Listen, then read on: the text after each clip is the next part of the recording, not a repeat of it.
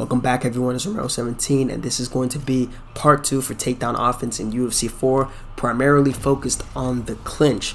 So I'm going to be working from the main clinch positions in open space which is going to be single collar, when you have dominant single collar, dominant over under with the body lock, Thai clinch, and getting the back clinch from open space, which I'll show you soon. So first things first, I'm going to get the clinch with Henry Cejudo. I'm going to input R1 and X and if your fighter has this in his move set, you're going to be able to hit this headlock to a hip toss, take them right down to side side or a very dominant position. If you go forward with R1 and X, you get this little trip going forward and you can knock them down so you can try and jump in their guard. And if you use R1 and circle, you'll be able to hit an ankle pick from there. Same levels apply. Now if you move to the side, I believe you're moving down or you can move up, you'll have the option based on wherever their leg is to trip them. So as you can see, uh, Demetrious Johnson is orthodox right here. So I'm gonna move him down. Right, I'm gonna move him down. Boom. There's a little trip. Doesn't allow me to pounce on top, but it's a good little misdirection to kind of fool your opponent and get them worried about takedowns in the clinch. As you can see, I'm moving them here. Boom. Trip him to the outside leg. So those are the basic clinch takedowns from single collar. Another key thing when it comes to the clinch is that you'll still be able to initiate your double leg drives even if you initiate single collar. So if you try to do a single leg, it doesn't work for some reason. I don't know why, but the double leg does work. So you can drive forward. If your opponent partially denies it, you can go back to the first video and see how you can start initiating your turns from there. So I'm gonna go one more time.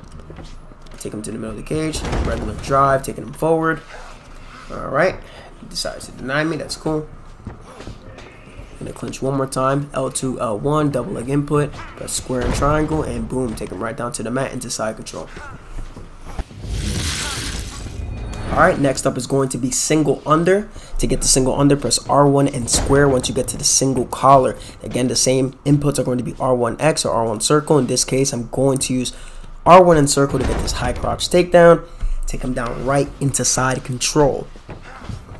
Next time I clinch again, right back into single under, going to use R1 and X, and I'm going to step through with a hip toss. And in Henry Cejudo's case, or anybody else that has this in their arsenal, if you get to single under and you circle behind your underhook and input R1 and X, you're going to get this nice, cool little knee block, kind of outside trip thing going on here. And yeah, take them down if you haven't realized there's a consistent theme with all these takedowns in the clinch most of what you have in one position you can hit in the other. But there's a difference on where you can end up for some of them and i'll get on that in a moment. So right here i can still hit the headlock into side saddle with henry cejudo. Once I get into the clinch again, if I'm driving him forward, I can hit the ankle pick from the Thai clinch. Now, if you guys remember the outside trip earlier in this video where I'm circling with uh, DJ, as you can see right there, if I get Thai clinch, and I use that foot sweep. Huge difference is that now I can end up inside control. See that? I'm gonna show you guys two two more times, two more times. Thai clinch by initiating the knee by pressing X, R1 and X by circling, and boom, now I am inside control. With all the grapplers out available now in this game, this can be a huge difference maker in setting up your takedowns and what you're going to be looking for. So keep an eye out for this.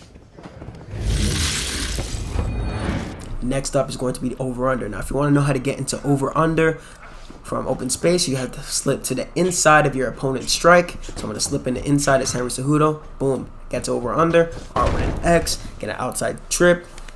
And boom, I'm in half guard. Now, if I use R1 and circle instead, what the hell's wrong with his arm? I'm going to get this little body lock and take him down into side saddle.